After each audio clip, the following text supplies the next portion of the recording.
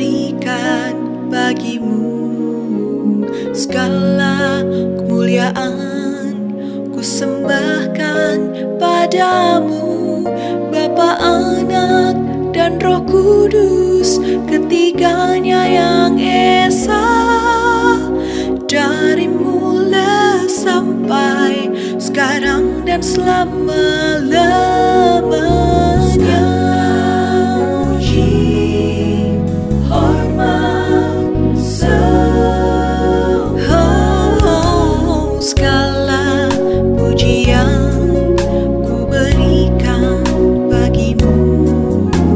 Segala kemuliaan ku sembahkan padamu Bapa, Anak, dan Roh Kudus Ketiga